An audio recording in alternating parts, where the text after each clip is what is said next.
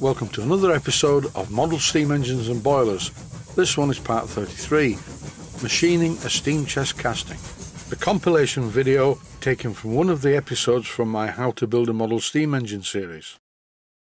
I will be out of action for the next two days because I will be on location shooting footage for a series of four videos for Myford Limited. The good news is, when I finish the filming, I'll be using some of the footage that I film for my Patreon supporters just as a sneak preview.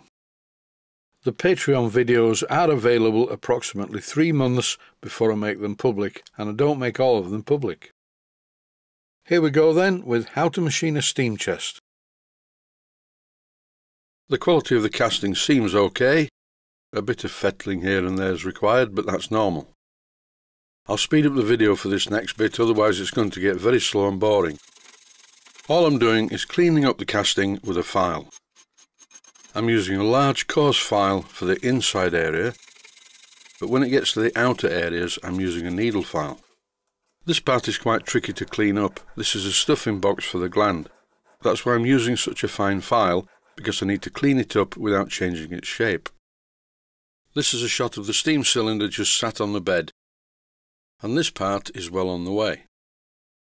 The steam chest that I'm about to make will sit on top of the port face. I could machine the steam chest using the four-jaw chuck, but I thought just for a change I'll use the milling machine. So what's all the hammering about? Well this is a soft hammer and it just makes sure that the part is accurately mounted in the machine vise. In the past, viewers who watch these videos have informed me that I should use parallels for packing pieces like this, but I don't have any parallels. I just use random pieces of metal for packing that I find in the workshop and they seem to be parallel enough for the job. I'm now going to machine the other side of the steam chest, but before I do that I'm cleaning the area very thoroughly. And once again, exactly as before, I tap the part into position using a soft hammer. Please note this is very important. On this casting, the stuffing gland part, that's the part on the left hand side, is not in the middle.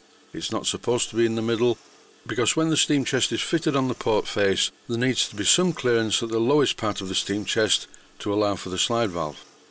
Almost all of the machining operations in this video are speeded up, just because I may slip into a coma midway through the edit. And if there are any mice watching this video, they will probably throw themselves on the traps. I needed one final piece of packing to raise the steam chest to the height so I could get the finished dimension. The ruler was perfect, and one more time, a bit of minor ultra violence on the casting using a soft hammer. Do not use a normal hammer, you will fracture the casting. By tapping the part like this, it makes sure that it's fully down onto the packings. This is a slightly deeper cut, so I'm observing the normal protocol, which is always to cut in the direction that the cutter is rotating, so that the work is against the direction of rotation.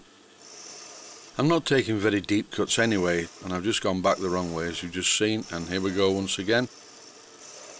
But normally you need to go in the direction that the cutter is cutting. After rubbing the part on a piece of emery cloth to remove any sharp edges, I'm applying some marking out blue to the end of the part. Because now I need to drill two holes in the end of this part, one all the way through, one eighth of an inch diameter, and the other one a quarter of an inch diameter for the depth of the stuffing box. Following the drawing to the letter for this part, the centre line needs to be exactly a quarter of an inch from the lowest part of the steam chest. It's important to get this part right, and as you can see, it's exactly in the middle both ways. If you don't have a surface plate, you could always use a piece of plate glass, but you'll still need to buy a height gauge, a very useful piece of workshop equipment. Surface plates are also good for doing this. I'm cleaning up the part on a piece of wet to dry sandpaper on the surface plate. And as I've just said, you can use a piece of glass, but the only problem with that is if you drop anything on it, it's going to fracture. That's why I use a surface plate. I've refitted the four-jaw chuck into the Boxford lathe, and here I'm using the four-jaw chuck to hold the steam chest in position so I can drill the end of it and as you've just seen I've used a 90 degree square to verify that the part is at 90 degrees to the chuck. This is a precision item, not only does the hole need to be exactly in the centre, it needs to be perfectly aligned with the steam chest. This is a 1 8 of an inch diameter drill. You don't need to use a reamer. A drill will be fine for this job. What you're supposed to do is drill a hole in the far end of the steam chest to support the valve rod. And this hole in the other end is supposed to be smaller than 1 8 of an inch diameter, but I don't do that. Whatever the diameter of the valve rod is, that is the size of hole that a drill at the other end of the steam chest inside it.